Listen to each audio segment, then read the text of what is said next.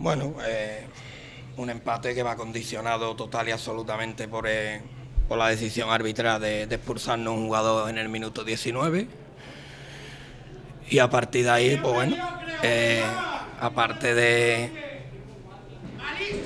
también el estado de, del terreno, del terreno de juego, ah, ya sí no, ya no puedo, pues además no tengo la garganta para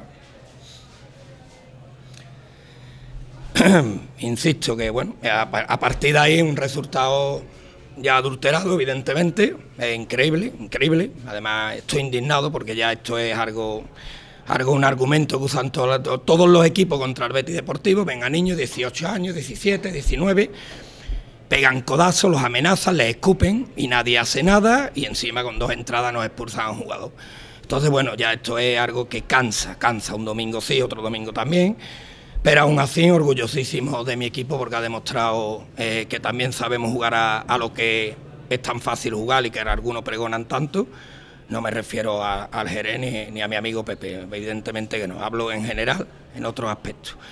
Y, nos vamos con un puntazo ante, para mí, el, el gran favorito de la categoría y, en un estadio muy complicado, ¿no? Muy, muy complicado. No, no, no, el Betis no, no ha dicho que no? es, condicionar partido. A lo mejor jugamos con 11 y no.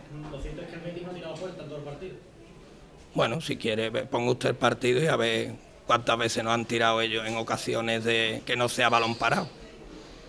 Le invito a que lo vea. Usted coja el partido, que lo echará en la tele Betis seguramente, y usted vea si en acciones de juego nos han creado algunas. Y te puedo decir tres muy claras del Betis Deportivo. La última, en una acción que minuto último, se va solo eh, Artamirano hacia portería y pita falta a favor del Betis Deportivo en vez de dejar la ley de la ventaja.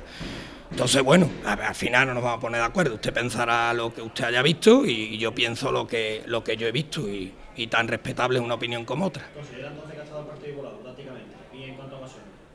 Sí, sí, no. Bueno, en cuanto a ocasiones no. Hemos visto un partido que ha estado ya un poco mm, condicionado por la expulsión y que cada equipo dentro de lo, de lo que tenía ya en el campo pues ha jugado sus bazas en las cuales nosotros no hemos sufrido y ellos bueno han, llevado una iniciativa que al final a nosotros no nos ha creado ya digo salvo a balón parado ningún, ninguna ninguna acción clara ni he visto que nuestro portero haya tenido que ser como en otros partidos parada salvadora no tengo esa sensación, de hecho no tengo la sensación de que de sufrir y creía que en los últimos minutos lo que pasa es que Iván Navarro ha entrado y, le ha dado un golpe en las costillas y no ha podido, estábamos jugando con nueve, pero tenía la sensación de hasta que podíamos llevarnos los tres puntos.